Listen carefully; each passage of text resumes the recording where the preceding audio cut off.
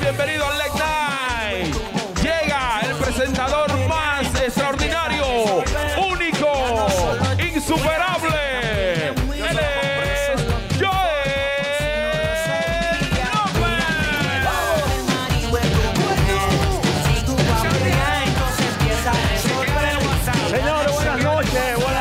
Gracias por la sintonía. Bienvenidos al Late Night Me Gusta de Noche en vivo por la dinámica Color Visión en Estados Unidos de costa a costa a través de Quisqueya TV. Son las 10.30 y ya está en el aire el Late Night Me Gusta de Noche.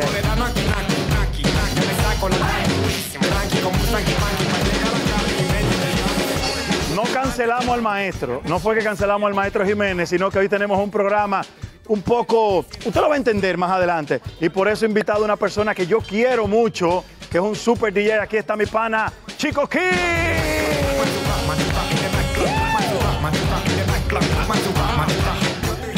Señores, mi invitado de esta noche es ganador tres veces consecutivo de mejor humorista en premios soberanos.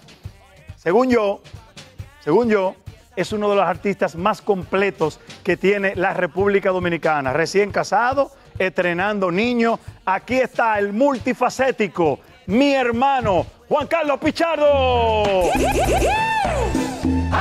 Ahí sí. Ey, pero me gustó ahí. Ok, ahora me fui, me puse en papel 2. Señores, quédense aquí que ya empecé este show. Tú estás claro, por eso es que llegamos siempre al tope. Activo, siempre activo. Ahora con Joel López. Vamos a hacer esta cosa y por eso yo no invento. Para jugar con nosotros es que hay que tener talento. Le digo, Joel, conmigo tuve en coche, señores. Bienvenido. Esto es Gusta de Noche. ¡Wow! Señores, ya usted vio lo que vamos a disfrutar esta noche en el Late Night. No se mueva tras la pausa. Tres veces ganador de premio soberano. Serán cuatro este año consecutivos. Descúbralo tras la pausa. Juan Carlos Pichardo está con nosotros. ¡Suena! ¡Oh!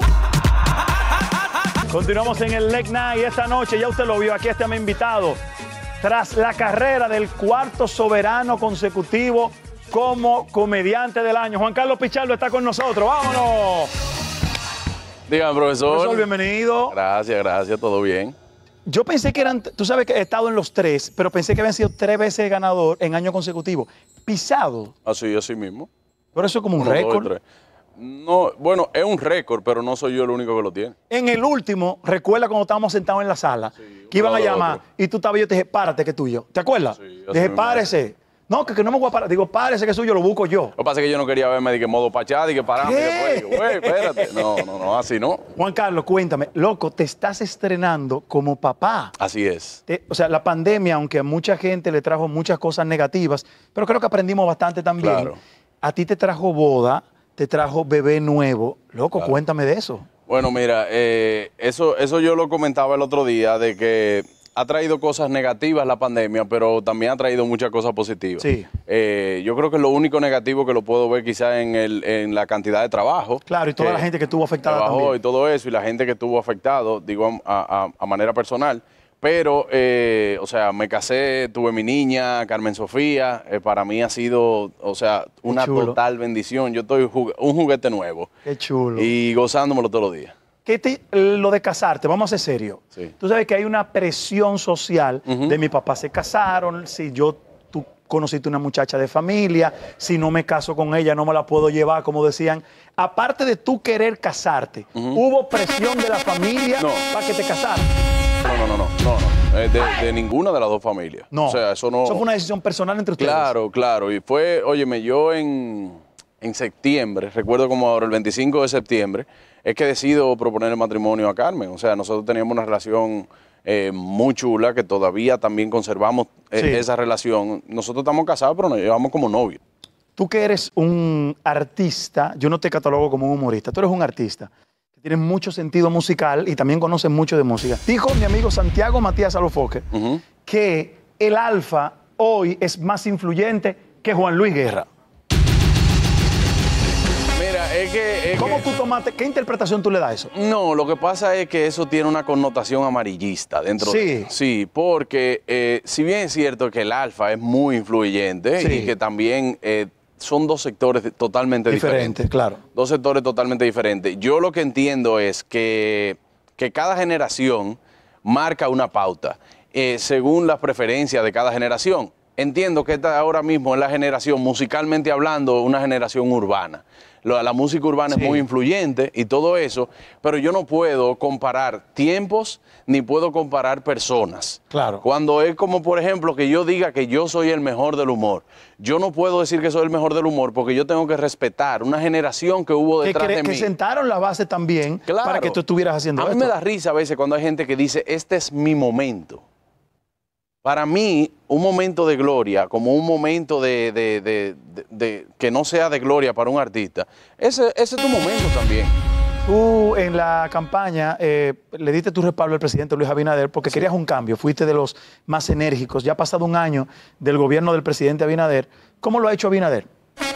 Para mí, dentro de, dentro de lo que cabe con todo, lo ha hecho muy bien. Sí. Y no estoy siendo simple, no estoy siendo parcial, sino que no es lo mismo entregarle un país a, a un presidente con la En situación. condiciones normales que con una pandemia. Exactamente. Esto es como que yo te entrego un carro dañado. Toma, Joel, resuelve. Te vimos en las redes que se hizo viral hablando del presidente, que empezaste a imitar al presidente Abinader, que lo hace súper bien. ¿Cómo surgió eso? O sea, ya tú lo venías pensando, Eh, tú no eres pendejo y dijiste, tengo que imitar al presidente, No. o fue, fue, fue A, natural. a mí me toca, me Sí. toca estar con lo actual. Entonces, ¿qué pasa con eso? Yo hice Abinader, fue con, probando una aplicación de, eh, de Snapchat. de Snapchat. Hay un filtro que tú puedes poner una foto, yo pongo una foto, yo el López, me doy buena iluminación y me pongo el filtro. Pero ok, eso es- el filtro te lo dio, te dio la caracterización Ajá. digital, pero ¿qué pasa? ¿Qué tomaste en cuenta en ese momento para llegar al timbre, al tono de voz del presidente? Sí, primero fue que vi que eh, el filtro me hacía la cara muy semejante. Sí. Y luego entonces lo que hice fue que empecé a ver videos. Ok. Cuando empiezo a ver videos, digo yo, bueno, yo creo que. lo loco, ¿eh? Yo creo que le puedo llegar a, a la imitación. Sí. Empiezo a practicar. Cuando hago la primera, veo que me sale, o sea, yo cierro los ojos, me escucho. Cuando me escucho, digo yo, bueno, pero puede parecerse mucho y la caracterización me ayudaba en ese momento. Y entonces por eso no, no seguí con la práctica hasta que se dio en la entrevista. Me dijeron, ah, Binader, bueno, pues sí, y, y le di. O sea, si por ejemplo yo le ¿qué tú crees que respondiera el presidente Abinader si le preguntaran si va a haber más implicados en el caso Antipulpo? ¿Qué, qué diría el presidente? Bueno, eso es algo, Joel, que ahora mismo lo está trabajando el Ministerio Público. y que entendemos, desde nuestro punto de vista, que va a caer todo el peso de la ley. No es algo, no es algo, no es algo que debemos de saber como dominicanos. En la República Dominicana ahora mismo se está trabajando en eso. Eso es así. No queremos gente corruptas. Mi gobierno es un gobierno transparente. Ese tipo es genial. Mira, hubo debate fuerte con el tema de las tres causales para que se aprobara y que la mujer pudiera disponer de, de- de- su embarazo. Lamentablemente no pudo pasar.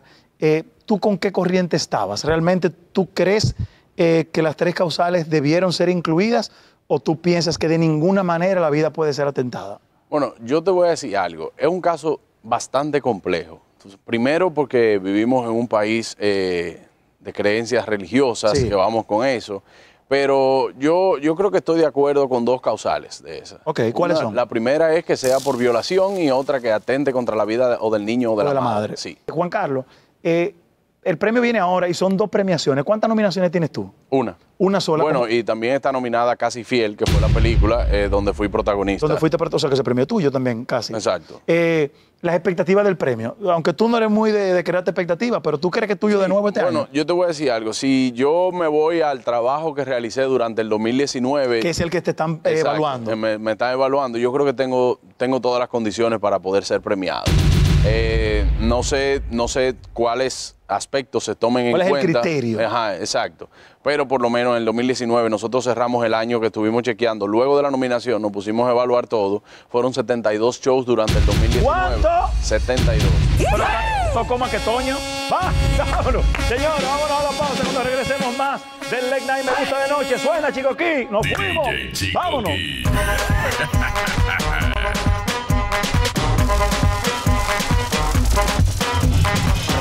Key. King Kong. King Kong. King Kong. King Kong.